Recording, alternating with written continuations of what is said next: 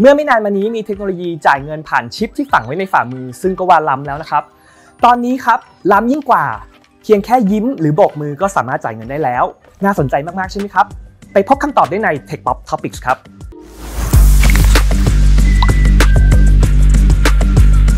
Mastercard ได้ออกฟีเจอร์ใหม่ชื่อว่า Biometric Checkout Program ให้ลูกค้าสามารถชำระเงินได้เพียงแค่ส่งรอยยิ้ม หรือโบกมือ โดยได้ทดลองที่ซูเปอร์มาร์เก็ต 5 แห่งในเมืองเซาเปาโล ประเทศบราซิล และมีแผนจะขยายการทดลอง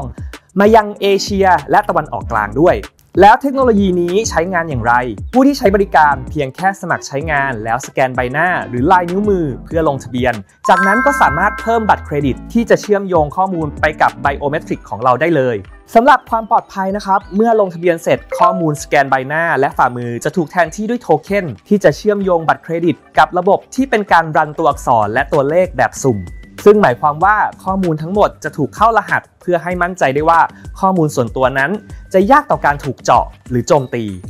นอกจากนี้ Mastercard ยังมีแผนจะเปิดตัวโปรแกรมนี้ทั่วโลกภายในปลายปี